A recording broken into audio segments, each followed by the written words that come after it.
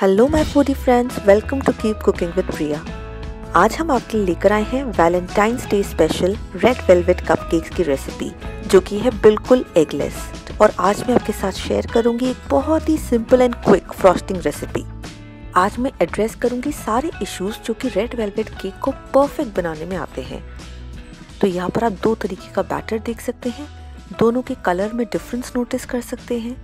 एक है dark brownish और रेडिश शेड में और दूसरा वाला कपकेक बना है बिल्कुल परफेक्ट ब्राइट रेड तो आज मैं आपके साथ शेयर करूँगी वो सारे टिप्स एंड ट्रिक्स कैसे इसकी फ्रॉस्टिंग करी जाए और कैसे बनाया जाए परफेक्ट रेड वेलवेट कपकेक्स जो कि हो super soft and super moist और आज हम इन कपकेक्स की फ्रॉस्टिंग करेंगे एक फ्लावर के डिज़ाइन में, जिससे आप इन कपकेक्स का फ्लावर का बुके अपने स्पेशल वन को गिफ्ट कर सकते हैं और इस ओकेजन को और भी स्पेशल बना सकते हैं। तो यहाँ पर आप देखिए रेड वेलवेट कपकेक्स कितने ब्यूटीफुल लग रहे हैं। और आप अंदर से इनका टेक्सचर देखिए।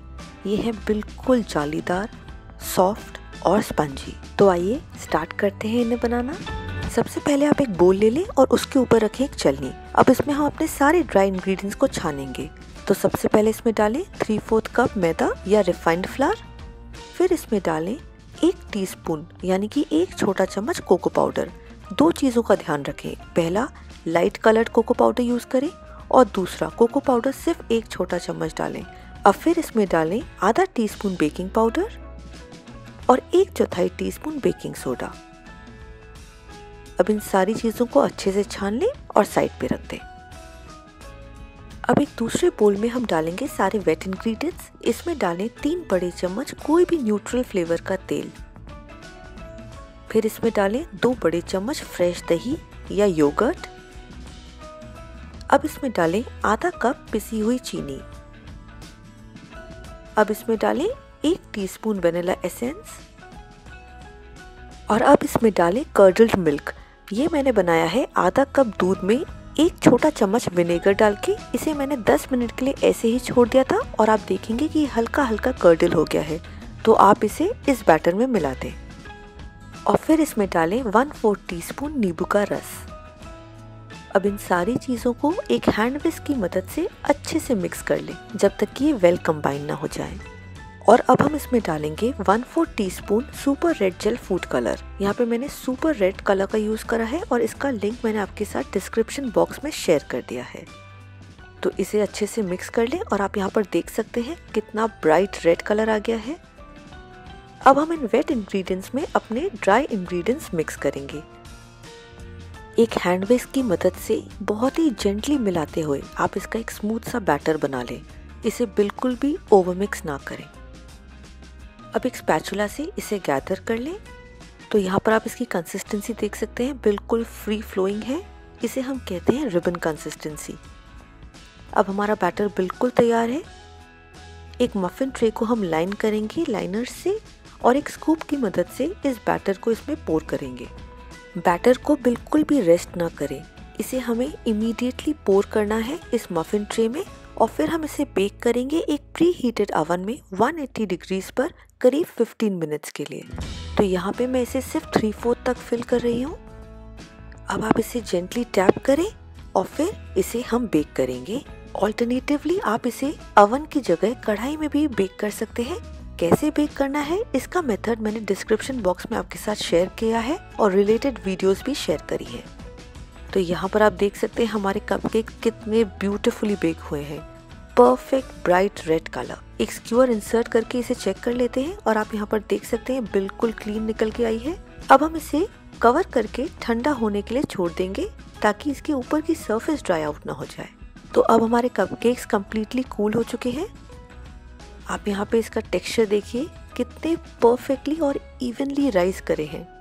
ना अनइवन हीटिंग की वजह से डोम शेप है और ना ही ये फ्लैट है। बिल्कुल परफेक्ट कपकेक्स बने हैं। और यहाँ पे मैं आपको इसकी स्पंजीनेस दिखाती हूँ। देखिए, जब मैं इसे प्रेस कर रही हूँ तो ये कितने अच्छे से बाउंस बैक कर रहा है। अब एक सीरेटेड नाइफ की मदद से मैं इसका टॉप इवन कर रही हूँ।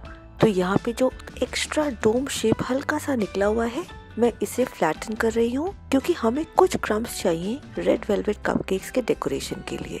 आप चाहें तो इसे करें, वरना ये बिल्कुल एक ऑप्शनल स्टेप है। अब इसे मैं अपने हाथों से हल्का सा क्रम्बल कर रही हूँ और इन्हें रिज़र्व कर रही हूँ बाद के डेकोरेशन के लिए। तो आइए अब कर लेते हैं कपकेक्स की फ्रॉस्टिंग इसके लिए यहाँ पर मैंने लिया है हाफ़ कप विपिंग क्रीम हमें एकदम चिल्ड विपिंग क्रीम लेना है और इसे बीट करना है जब तक कि इसमें बिल्कुल स्टिफ पीक्स नहीं आ जाते। तो यहाँ पे मैं इसे इलेक्ट्रिक बीटर से बीट कर रही हूँ। और यहाँ मैंने यूज़ करा है नॉन डेरी विपिंग क्रीम तो इसमें मैंने कोई भी एक्स्ट्रा शुगर नहीं डाली है। तो यहाँ पर आप देख सकते हैं कि हमारी क्रीम स्टिफ पीक्स तक बीट हो चुकी है। अब जब मैं इस बोल को टर्न कर रही हूँ तो भी क्रीम इसमें से गिर नहीं रही है और अपना शेप होल्ड करके है। तो बस हमारी क्रीम तैयार है फ्रॉस्टिंग के लिए। ओरिजिनली रेड वेलवेट कपकेक्स में क्रीम चीज़ की फ्रॉस्टिंग होती है। तो अगर आप चाहें तो विपिंग क्रीम को बीट करते टाइम इसमें डाल सकते हैं one fourth cup cream cheese पर क्योंकि ये इजीली अवेलेबल नहीं होती और थोड़ी सी एक्सपेंसिव भी आती है तो आज मैं इसमें सिर्फ़ विपिंग क्रीम की फ्रॉस्टिंग कर रही हूँ। अब आप अपने पसंद की नोज़ल ले सकते हैं और इससे इन कपकेक्स पे कोई भी ब्यूटीफुल सा डिज़ाइन पाइप कर लें।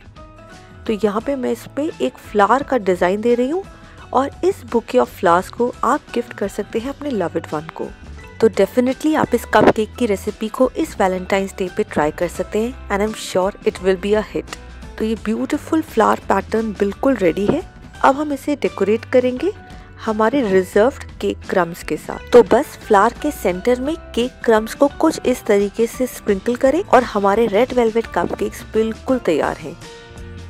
परफेक्ट रेड कलर आया है और बहुत ही ब्यूटीफुल लुकिंग ये फ्रॉस्टिंग करी है मैंने इस पे इस सिंपल रेसिपी को फॉलो करें और आप भी बना पाएँगे ये परफेक्ट रेड वेलवेट कपकेक्स जो कि हैं बिल्कुल एगलेस तो कैसी लगी आपको आज की ये Valentine special red velvet cupcakes की रेसिपी अपना फीडबैक हमें नीचे कमेंट सेक्शन में बताएँ और अगर आपको ये वीडियो पसंद आया हो तो प्लीज़ हमारे चैनल को ज़रूर सब्सक्राइब करें। Thanks for watching